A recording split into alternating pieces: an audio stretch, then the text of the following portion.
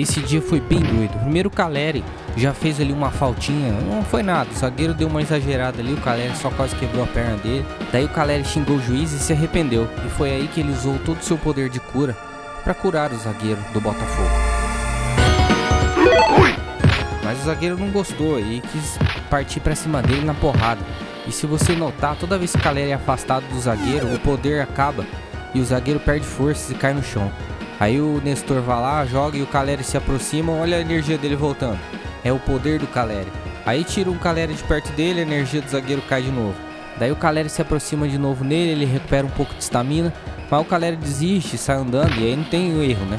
O zagueiro perde totalmente sua força e cai no chão. O Caleri tentou ajudar e ele não